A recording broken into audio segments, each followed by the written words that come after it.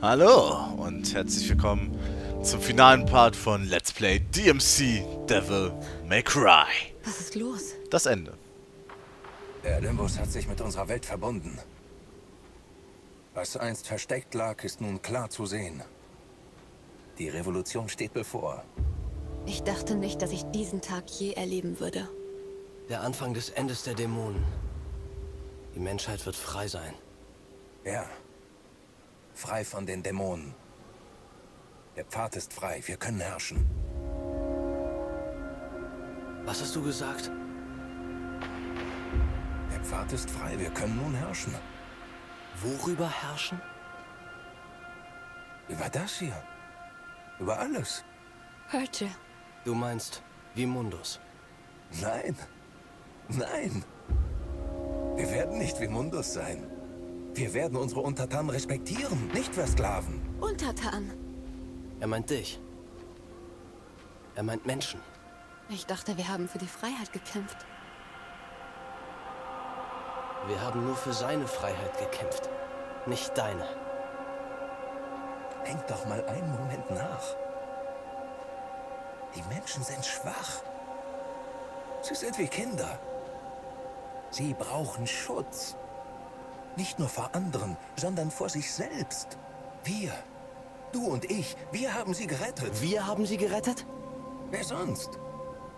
Ein Mensch. Cat war hilfreich, aber Hilfreich. Cat hat mein Leben gerettet. Cat hat Qualen überstanden, um deine Existenz geheim zu halten.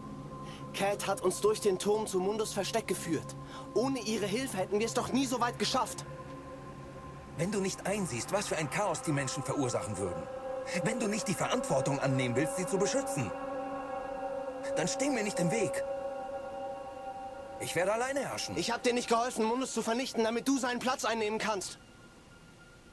Das werde ich nicht zulassen, Virgil. Und ich werde mich nicht aufhalten lassen, Bruder. Geh zur Seite. Tu das nicht. Virgil, bitte. Halt dich darauf!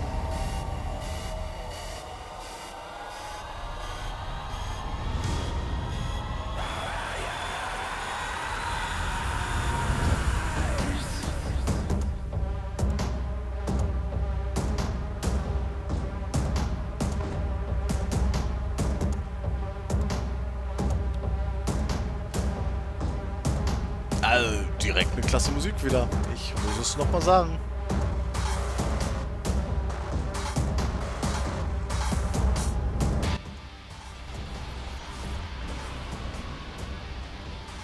Bisschen leiser machen, denn wir müssen jetzt so langsam agieren.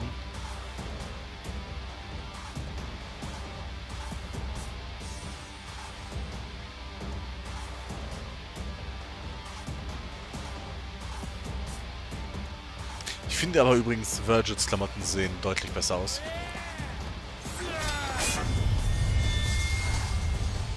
Vielleicht muss ich doch noch ein Nein, fein. Aber eigentlich müsste es jetzt so langsam dabei soweit sein, ja.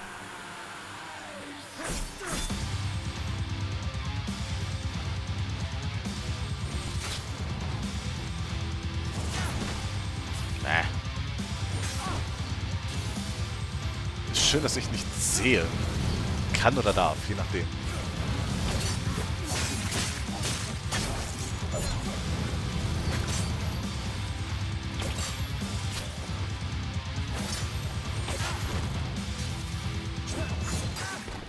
Kann ich die Dinger zurückschlagen? Ja, kann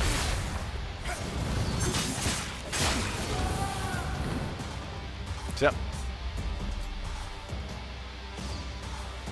Oh Gott.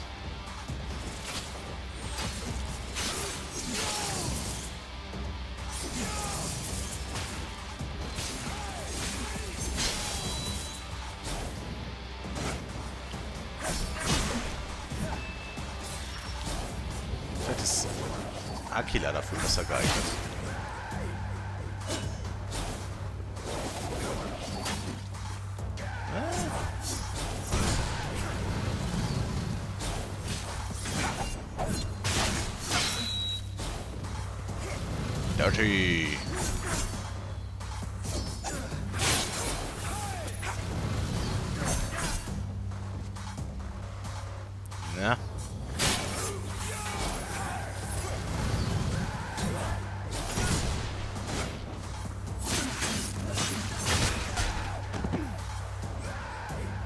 Ich, Virgil. Was ist los?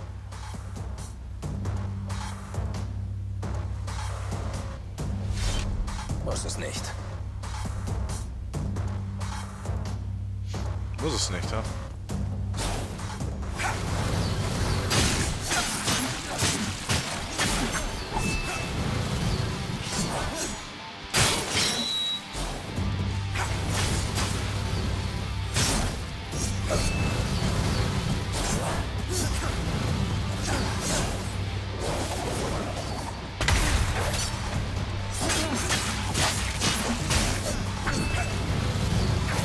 Zeug. Dass es hier so blitzt. Oder wie kommt das?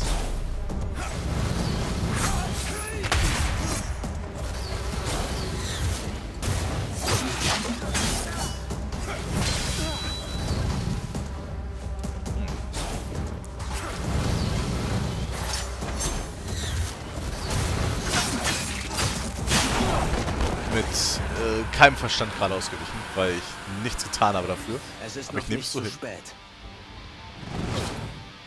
Doch, ist es.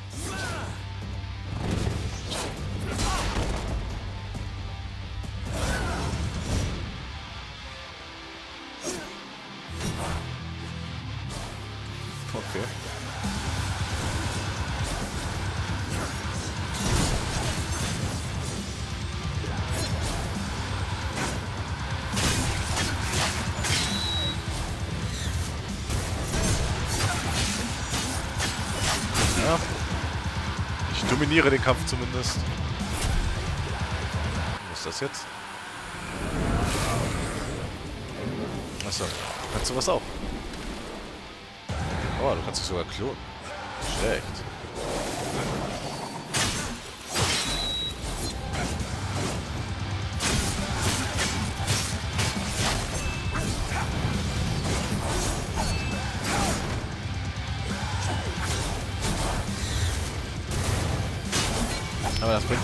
Beide relativ zeitgleich hier treffen kann.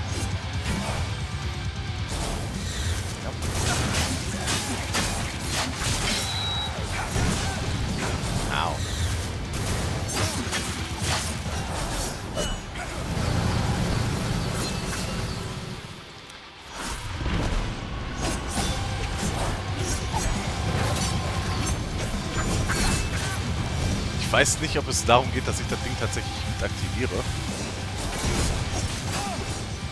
Ich glaube nämlich nicht.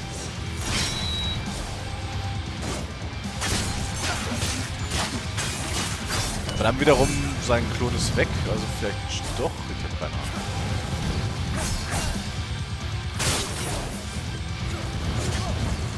Ah, komm schon.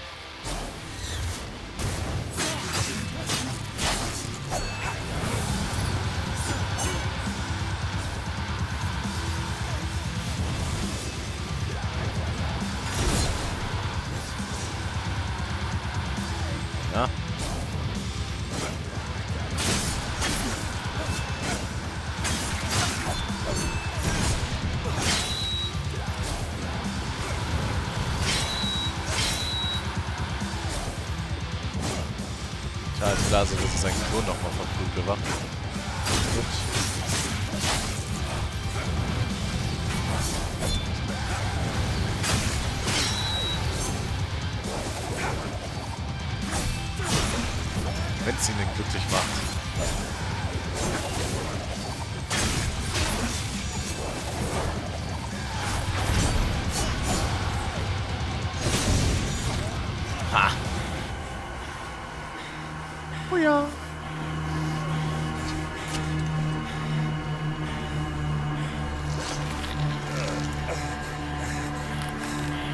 Brudermord ist nicht unbedingt so schön, aber was will man machen?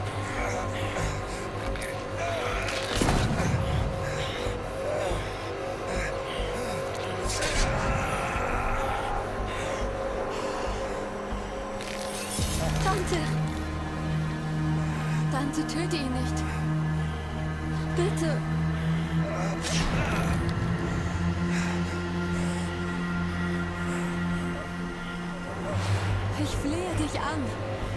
Bitte hör auf. Liebe mich.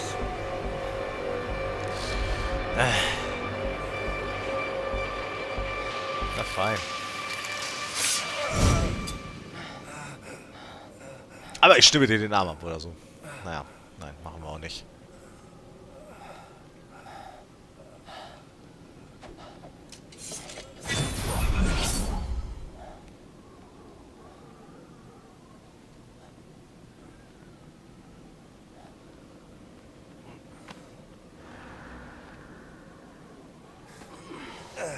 Wie immer. Und ja, ihr seht richtig, wir haben jetzt mehr oder minder weiße Haare.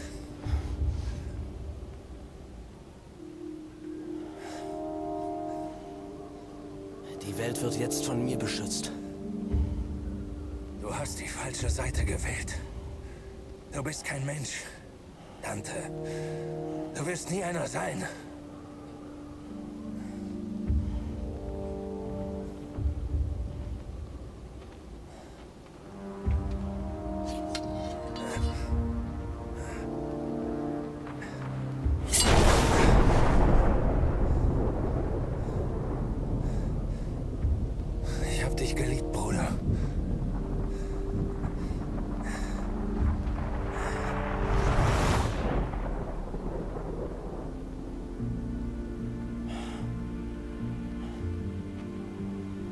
Weiß nicht mehr, wer ich bin. Ich weiß genau, wer du bist. Du bist Dante. Nicht mehr und nicht weniger.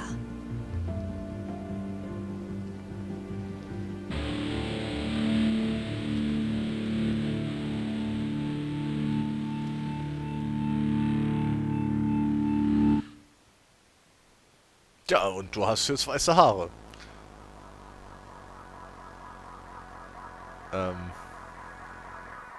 Ja, äh, Hi- Hi Ninja Theory in Cambridge, UK.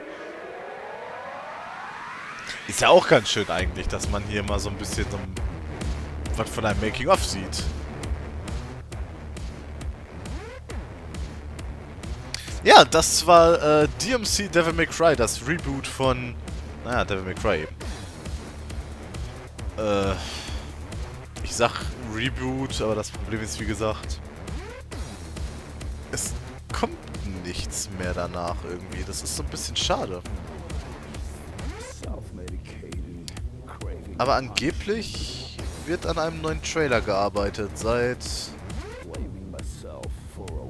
Keine Ahnung.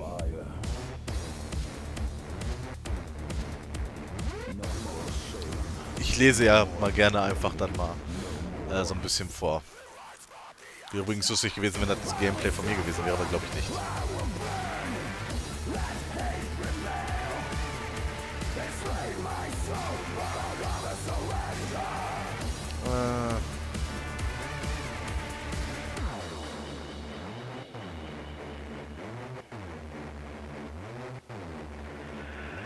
Okay, im Prinzip also nur wieder eine Gerüchteküche. Bäh, Gerüchte, Küche, so. Soweit ich das sehe. Ich weiß es auch nicht. Es ist irgendwie viel zu lange her.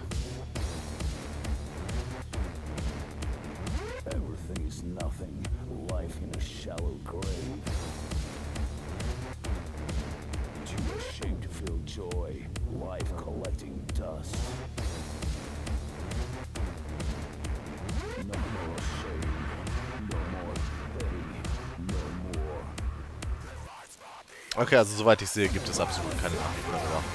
Ja, ich sitze hier mit einem Handy, während ich äh, aufnehme und versuche herauszufinden, ob da irgendwas kommt. Aber nein, absolut nichts.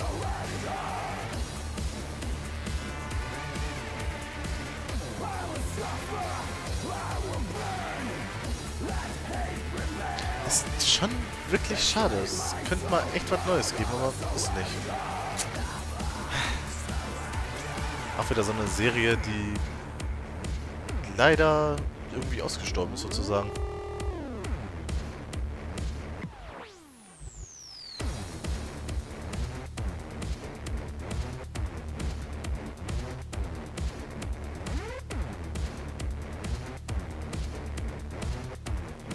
Naja, Was soll's.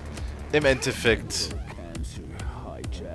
bin ich einfach nur froh über eigentlich dieses sehr, sehr gute Spiel.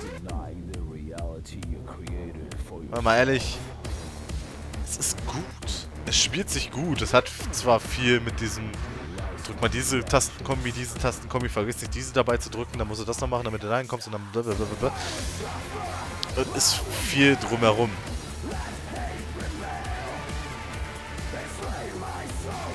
Aber wenn mal Neues rauskommt, ich weiß ganz genau, ich werde es kaufen. Das Spiel hier wiederum hätte auch noch ein DLC. Ähm, wenn man das denn haben möchte. Ich meine, es gab aber auch wieder so eine Version, wo es mit drauf war. Ich habe die halt mal wieder nicht. Weil es war Devil May Cry, ich musste es sofort haben. Und, ja. Der DLC kostet, glaube ich, gerade noch 9 Euro oder sowas. Vielleicht irgendwann mal, aber erstmal nicht.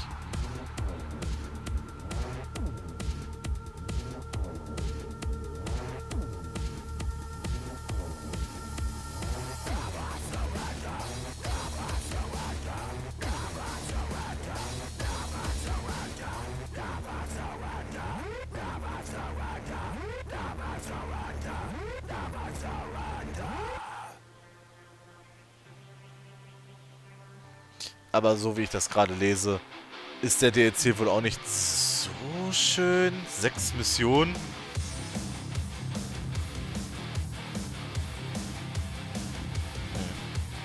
Also, als LP braucht ihr es nicht erwarten, es sei denn, jemand spendet mir so eine Karte. Aber ansonsten, naja. Beziehungsweise ihr könnt mir auch gerne was auf mein PayPal-Konto spenden. Ich bin da immer für alles offen. Aber so werde ich es mir wahrscheinlich nicht holen.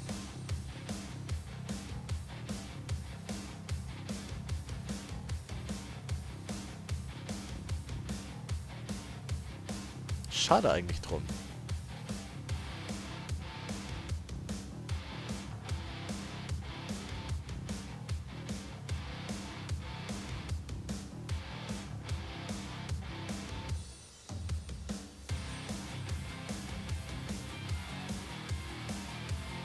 Ja, egal.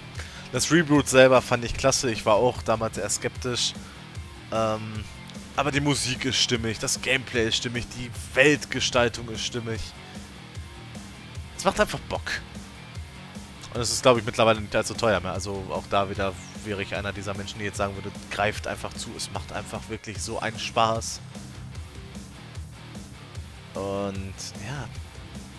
Gut, klar, ihr seht. 19 Parts. Teilweise um die halbe Stunde rum. Also wenn ich eine halbe Stunde immer draufrechne, ähm, kann man fast sagen 10 Stunden pro Spieldurchlauf, je nachdem. Es sind sechs oder sieben verschiedene ähm, Schwierigkeitsgrade. Also ihr könnt euch da gut durch die Gegend prügeln.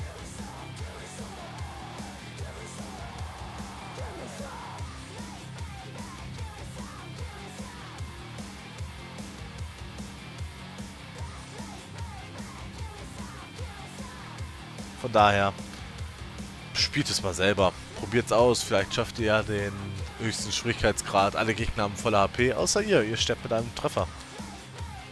Das habe ich mal mit dem dritten Teil gemacht, den ich ja über alles liebe. Und das mache ich nie wieder. nie, nie wieder. Das war echt so ein...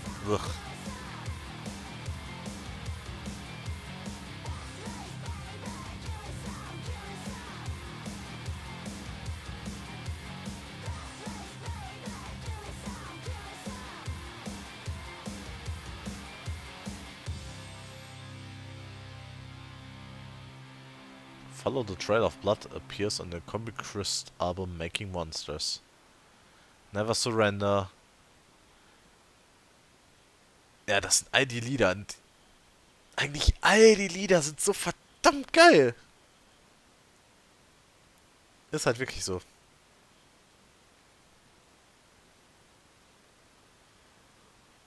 Nur, dass die Musik jetzt vorbei ist. Das ist natürlich traurig.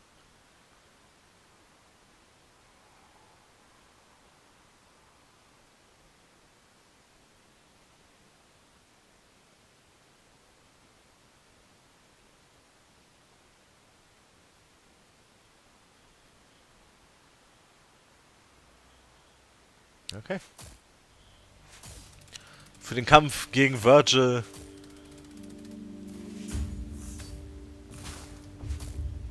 Gekoppelt an einen Triple S. Das ist eine schöne Pyramide gerade irgendwie.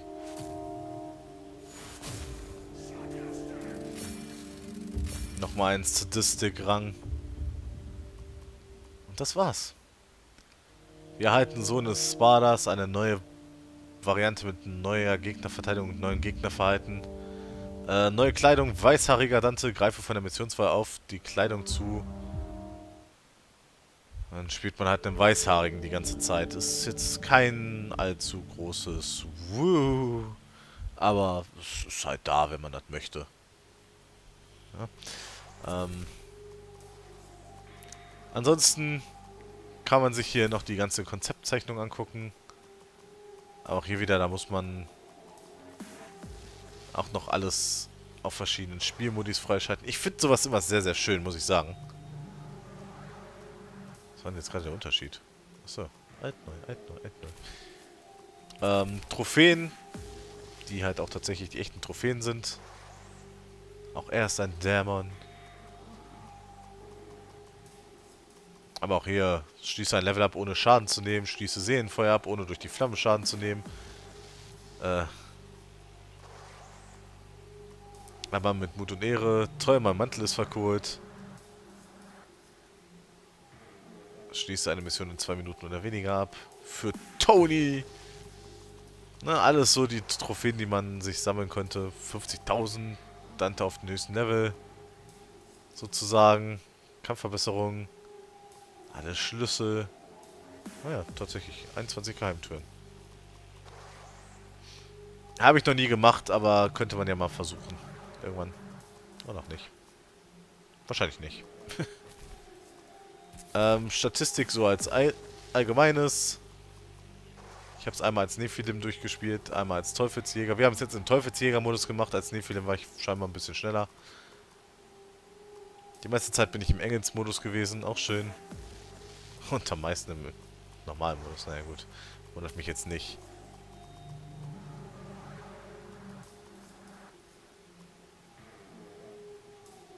Mission? Hm.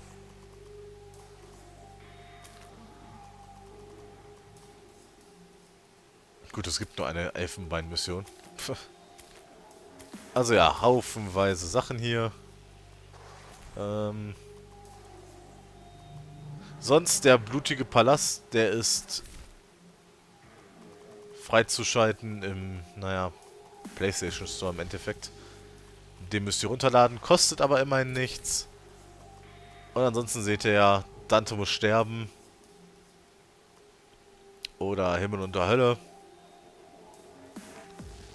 Und Hölle und Hölle. Naja, wir könnten jetzt halt wieder gucken. Da seht ihr, Nephilim habe ich mal gemacht. Aber erst ab der Mission... Warum? Hä? Naja. Keine Ahnung, habe ich mich scheinbar mal entschieden, das irgendwie ab dem Punkt als Nephilim zu spielen. So, in das Spada könnten wir reingehen. Und dann seht ihr, jetzt haben wir hier theoretisch Aussehen, die man sich im DLC-Shop auch wieder kaufen kann. Und hier normal und mit weißen Haaren. Ist dann jetzt der Standard irgendwie. Warum auch immer. Ja. Das war's aber von meiner Seite. Wir sehen uns beim neuen LP. Ich hoffe, es hat euch Spaß gemacht. Bis dahin. Auf Wiedersehen und tschüss Leute. Jetzt ist das Video vorbei, aber Dante prügelt sich auch morgen wieder über eure Bildschirme. Bis dahin könnt ihr euch ein anderes Video ansehen, meinen Channel aufsuchen, mir bei Facebook irgendetwas schreiben, aber vor allen Dingen vergesst nicht, mich zu abonnieren, um weitere Videos zu sehen und auch Dante weiterhin zu unterstützen.